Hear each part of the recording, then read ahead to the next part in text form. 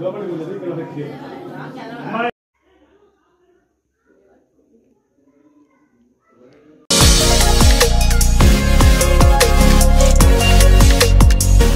hi friends welcome to our channel SMS Telugu logs already మనం మేడారం దర్శనం చేసుకున్నాం కదా ఇక్కడ నుండి మేము మల్లూరు నరసింహస్వామి టెంపుల్ దగ్గరికి వెళ్ళిపోతున్నాము.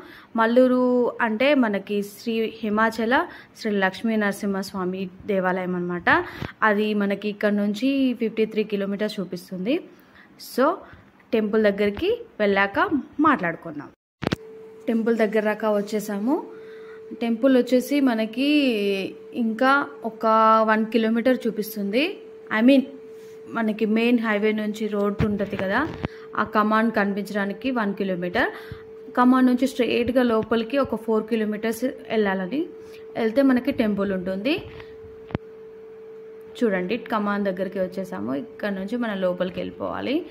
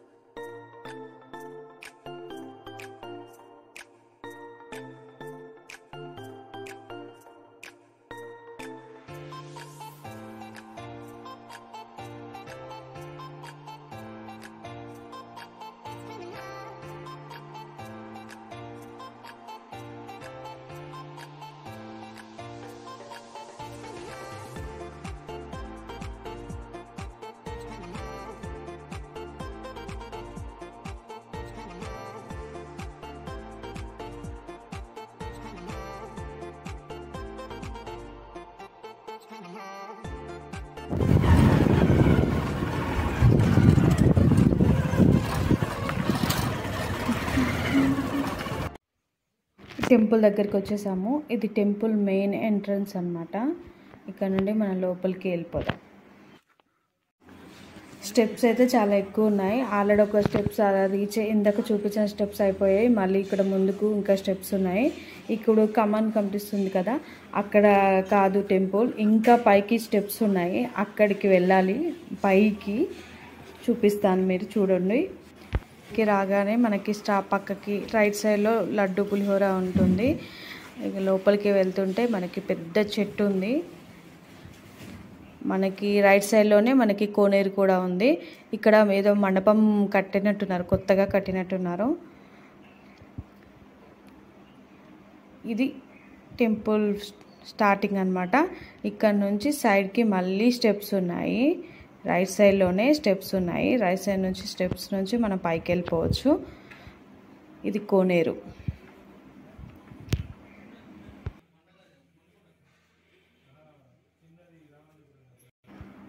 పదండి స్టెప్స్ ఎక్కేద్దాం. అమ్మో చాలా స్టెప్స్ ఉన్నాయి. ఆల్రెడీ మేము బైక్ పైన తిరుగు వచ్చాం కదా చాలా ట్రావెల్ చేసాము. రామప్ప తర్వాత మేడారం తర్వాత మల్లూరుకి వచ్చాము. అమ్మా ఎక్కుతుంటే ఆయాసం వచ్చేస్తుంది. ఇక్కడ నుంచి పైనుంచి చూపిస్తాను చూడండి ఇంత హైట్లో ఉన్నాం ఇప్పుడు మనం. అటు నుంచి ఏదో కన్స్ట్రక్షన్ జరుగుతుంది స్టెప్స్వి సో అందుకని ఇటు నుంచి స్టెప్స్ పెట్టారు ప్రజెంట్ అయితే. జనాలు అయితే ఎక్కువ ఎవరు లేరు. సాటర్డే సండే అయితే ఫుల్ ఉంటారంట. ఈరోజు అయితే ఎవరు లేరు ఎక్కువగా. మనం లోపలికి వెళ్ళి దర్శనం చేసుకుందాం. చాలా అలసిపోయాను. అంత అక్కడి నుండి స్టెప్స్ ఎక్కుతూ వచ్చి ఇక్కడ కూర్చుండిపోయాను. టెంపుల్ దగ్గర ఒకసారి చూడండి. ఇదంతా మనకి టెంపుల్ బాయ్ నుంచి కిందికి చూస్తే ఇలా ఉంటుంది. ఇప్పుడు మనం టెంపుల్ గోపురం చూపిస్తాను పైన ఇప్పుడు మనం వెళ్ళిన దగ్గరికి టెంపుల్ దగ్గర ఇలా ఉంది. ఇక్కడ నుంచి మనం టెంపుల్ దగ్గరికి వచ్చేసాము. లోపల వీడియో తీయనిస్తారో లేదో తెలీదు. ఒక్కసారి అడిగి వీలుంటే ట్రై చేస్తాం. శ్రీ హేమాచల లక్ష్మీ నరసింహస్వామి మల్లూరు. చూడొచ్చు మీరు టెంపుల్లో స్వామివారు ఇలా ఉంటారు. ఇది మనకి వీడియో తీయడానికి అవకాశం ఇచ్చారు. సో తీశాను. అండ్ స్వా పంతులు గారు అక్కడ అందరికీ టెంపుల్ విశిష్టత మొత్తం చెప్తున్నారు. వారి మాటల్లోనే మీరు కూడా వినండి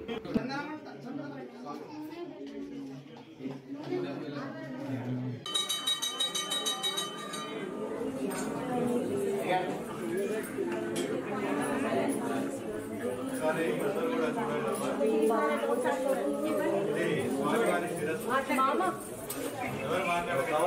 స్వామివారి శిరస్సు నుదుటిపై చిరునామాలు నేత్రాలు నోరు వక్షస్థలం గదా ఇక్కడ స్వామివారి చతుర్భుజుడు తొమ్మిది అడుగుల నాలుగు అంగుళాలుండి మానవ దేహం ఎలా ఉంటుందో స్వామివారి శరీరం కూడా మెత్తగా మృదువుగా సున్నితంగా ఉండడం ఇక్కడ స్వామివారి యొక్క విశేషం ఇరవై శాతవాహన రెండవ శతాబ్దంలో దీపకర్ణి అనే మహారాజు గారికి స్వామివారి స్వప్నంలో కనిపించి నేను ఈ ప్రదేశంలో ఉన్నా నన్ను బహిర్గతం చేయండి చెప్పారు ఎప్పుడైతే బహిర్గతం చేయడం చెప్పారో అప్పుడు వారి వారి సైన్యంతో నుంచి ఆ పక్కన ఉన్న కొండ తొలుచుకుంటూ వస్తున్న క్రమంలో స్వామివారి నాభి ప్రాంతంలో ఎప్పుడైతే స్వామివారి నాభి కూడా తగిలిందో స్వామివారి బాధకి అరిచి అరవగానే కొండంగా బయటపడిపోయి ఇక్కడ స్వామివారు స్వయంగా బహిర్గతం అవడం విశేషం. ఆ దెబ్బ తగిలిన ప్రదేశంలో నుంచి కృపణీయగా రక్తం ధరలా పసుపు గంధం మనం ఏం చేస్తాం? పసుపు పెడతాం కదా? పసుపు కలిపిన మిశ్రమాన్ని ఆ యొక్క నాభి ప్రదేశంలో అద్దారు అయినప్పటికీ కూడా స్వామివారు ఉపశమనం పొందకపోగా బాధతో అరుస్తూనే ఉన్నారు విలపిస్తూనే ఉన్నారు ఆక్రోషిస్తూనే ఉన్నారు స్వామివారు. అప్పుడు ఆ రాజుగారు అడిగారు స్వామి మీ యొక్క బాధ నుంచి నేను విముక్తిని చేయాలి అంటే నేనేం చేయాలో పరిష్కార మార్గం తెలపమనగా ఆ స్వామివారు సెలవిచ్చింది ఏంటంటే తిలతైల అభిషేకం చేయమని చెప్పారు. తిలతైలం అంటే ఏంటమ్మా? నువ్వులను నువ్వులతో అభిషేకం చేయమని చెప్పగా వేద పండితుల చేత ఋషుల చేత ఇక్కడ స్వామివారికి వారికి నువ్వుల నూనెతో అభిషేకం చేయించి స్వామివారి యొక్క బాధ నుంచి ఉపశమనం కలిగజేశారు. ఆ రాజుగారు ఎప్పుడైతే ఆ యొక్క బాధ నుంచి స్వామివారు విముక్తుడయ్యారో అప్పుడు లోక కళ్యాణార్థం ఇక్కడ రెండు వరాలు ఇవ్వడం జరిగింది. ఆ వరాలు ఏంటంటే దెబ్బతగిన ప్రదేశంలో మన పసుపు కానీ గంధం కానీ పెడతాం కదా ఆ యొక్క ప్రసాదాన్ని కనుక సంతానం లేని వారికి ఇస్తే శ్రీకృష్ణ సంతానం కలుగుతుందనేది ఈ క్షేత్రంలో ప్రప్రదమైంది ఆ తర్వాత ఆరోగ్య సమస్యలకి వివాహానికి జ్యేష్ఠ ధనిష్ట మూల నక్షత్రాలకి సూర్యగ్రహణంలో పుట్టిన చంద్రగ్రహణంలో పుట్టిన పూజ సర్వ దోషాలకి దోష పరిహారార్థం సాలగ్రామ తీర్థంతో శుద్ధి చేసి మంత్రోపదేశంతో ఆ యొక్క నాభి ప్రసాదాన్ని తీర్థంగా ఇస్తారు. దానికి గాను టికెట్ ఉంటుంది అర్చకులు వేరే తీసుకుంటారు. ఆరు నెలల కాలం అంటే సమస్యను బట్టి మూడు నెలల నుంచి ఆరు నెలల వరకు ఆ యొక్క ఇది నియమాలు ఉంటాయి. ఆ నియమాలను పాటించాలి ఖచ్చితంగా. ఇక రెండవది ఏంటి? తిలతైలాభిషేకం. ఈ తిలతైలాభిషేకం కనుక చేర్చుకున్నట్లయితే సమస్త సమస్యలకి స్వామివారి పరిష్కార మార్గం చూపెడతారట అంత గొప్ప మహిమాన్విత దివ్యమైన క్షేత్రం ఈ కొండంతా కూడా అర్ధచంద్రాకారంగా ఉండి స్వామివారి మధ్యలో ఉన్న క్షేత్రం హేమాచల క్షేత్రంగా పిలువబడుతుంది చంద్రుడు అంటే హిమకరుడు. కాబట్టి ఈ క్షేత్రం పేరు హేమాచల క్షేత్రంగా పిలువబడుతున్నది.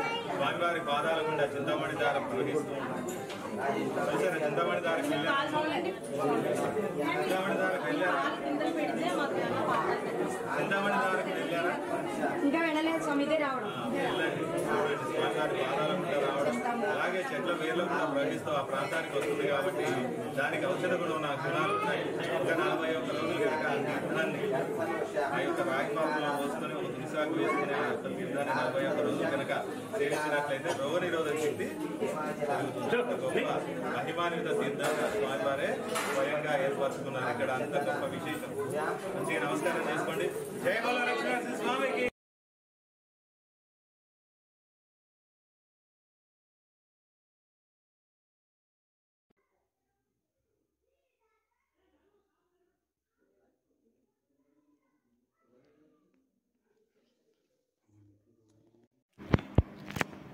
మనం పైనుండి ఇప్పుడు కిందికి వచ్చేసాము. మనకి లెఫ్ట్ సైడ్లో సీతారాముల టెంపుల్ ఉంది. మనం వెళ్ళి దర్శనం చేసుకుందాం.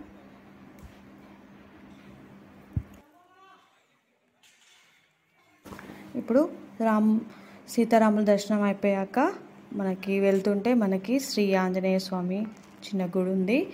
శ్రీ ఆంజనేయ. మనకి టెంపుల్ దర్శనం చేసుకొని వస్తుంటే మనకి లెఫ్ట్ సైడ్లో లడ్డు కౌంటర్ ఉంటుంది. లడ్డు కౌంటర్లో లడ్డు తీసుకున్న తర్వాత లెఫ్ట్ సైడ్లోనే మనకు ఒక దారి కనిపిస్తుంది. చింతామణి జలపాతానికి దారి అని.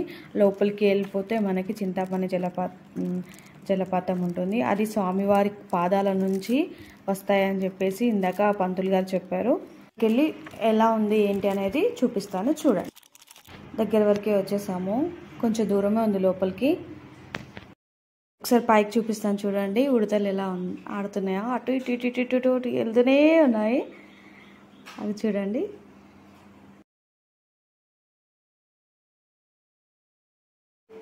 ఈ జలపాతానికి వచ్చేసి చింతామణి జలపాతం అని బోర్డు ఉంది. అక్కడ కూర్చున్న వాళ్ళని అడిగితే మాత్రం చెప్పారు ఇది అక్కదార చెల్లదార అనేది ముందుంటుంది. ఐ మీన్ ఇంకొంచెం లోపలికి వెళ్ళాలి అని చెప్పారు. ఇది స్వామివారి పాదాల నుంచి వస్తాయంట వాటర్. ఈ వాటర్ని చాలామంది తీసుకెళ్తున్నారు.